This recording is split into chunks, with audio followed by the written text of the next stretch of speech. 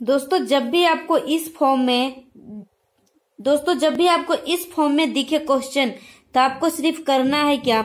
ज़्यादा इसको हम ऐड नहीं करेंगे दोस्तों, सिर्फ़ आपको क्वेश्चन को देखते ही, आप इस क्वेश्चन को देखते ही देखिए क्या करना है। बस देखना है कि कितना नंबर है। ठीक है दोस्तों? इसके जगह पे फोर भी दे सकता है फाइव भी दे सकता है, कोई भी दे सकता है। ठीक है दोस्तों? तो सिंप्लीफिकेशन को सिंप्लीफिकेशन क्वेश्चन करने का तरीका क्या है दोस्तों? जब भी आपको इस तरह से प्लस में आपको क्वेश्चन दे दोस्तों तो आपको क्या करना है? सिंगल बाय सिंगल सारे नंबर को हम नहीं लिखेंगे और एड नहीं करेंगे। सिर्फ़ आपको करना है फ्रेंड्स बस नंबर देखना है कि कितने डिजिट है। ठीक है फ्रेंड्स जो थ्री है थ्री कितने डिजिट है? तो एक, दो, तीन, चार। ठीक है दोस्तों चार बार है तो हम चार लिखेंगे। अब देखिए कितने बार है दोस्तों देखिए कितने बार है? तीन बार है थ्री तो यहाँ पे तीन लिख लिया ठीक है? अब यहाँ पे आपको देखना है कि यहाँ पे देखिए कितने न, कितने बार है तो यहाँ टू बार है थ्री यहाँ पे आपको देखना है कि कितने बार थ्री है तो यहाँ पर वन बार है ठीक है दोस्तों? अब आपको क्या करना है? थ्री वन जा थ्री हो गया ठीक है फ्रेंड्स अब थ्री थ्री टू जा सिक्स हो गया फिर थ्री थ्री जा नाइन ठीक है? फिर थ्री फोर जा ट्वेल्व। ठीक है फ्रेंड्स? बस आपका आंसर आ गया।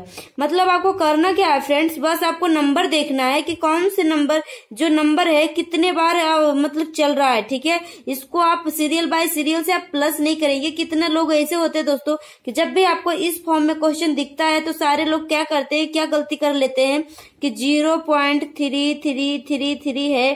फिर से वो सारे नंबर को फिर इस तरह से, इस तरह से लिखते हैं, फिर इस तरह से सारे नंबर को लिखते हैं और फिर ऐड करने लगते हैं। ठीक है दोस्तों? मगर आपको ऐड नहीं करना, इस तरह से प्लस नहीं करना है फ्रेंड्स बस सिर्फ़ आपको नंबर देखना है कि जैसे थ्री है तो थ्री आपको देखना है कि कितने बार थ्री है, ठीक है? तो यहाँ फोर बार है दोस्तों तो हमने फोर लिख दिया। यहाँ थ्री बार है तो थ्री लिख दिया। फिर यहाँ टू बार है तो टू लिख दिया। यहाँ एक बार है तो एक लिख दिया। ठीक है दोस्तों? अब तीन एकम में तीन तीन दूना छह। ठीक है दोस्तों? तीन तिया नौ। फिर तीन चौका बारह। ठीक है दोस्तों अब यहाँ पे देखना है कि मैक्सिमम ठीक है दोस्तों? ज़्यादा से ज़्यादा कौन मतलब यहाँ पे आपको देखना है, जैसे देखिए मैक्सिमम और मिनिमम आपको देखना है दोस्तों मैक्सिमम कितने नंबर के बाद आपका जो पॉइंट लगा हुआ है दोस्तों, दशमलव है, वो आपको देखना है, ठीक है? कम से नहीं देखेंगे, ज़्यादा वाला देखेंगे कि कितने नंबर के बाद जो ज़्यादा नंबर है दोस्तों, कितने नंबर के बाद आपका जो दशमलव लगा हुआ, वो आपको देखना है, ठीक है?